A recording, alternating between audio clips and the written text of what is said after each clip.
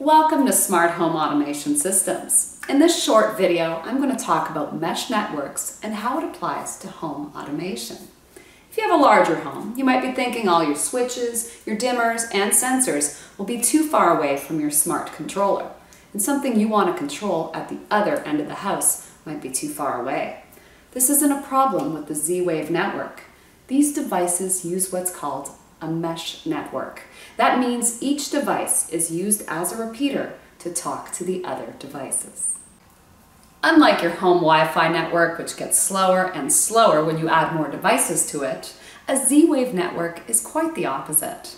The strength of the network actually increases when you add more devices, eliminating the bottlenecks and providing greater distances. These devices are also event-driven, meaning they sit idle 99% of the time until an event happens. These devices on a mesh network connect to all other devices on the network.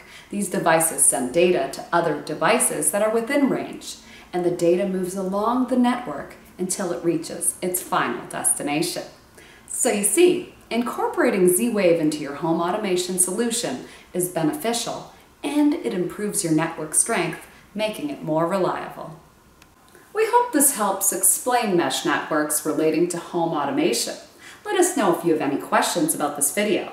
Subscribe to see more videos. Visit our website at smarthomeautomationsystems.com. You can follow us on Twitter and like us on Facebook. And remember, we turn your home into a smart home.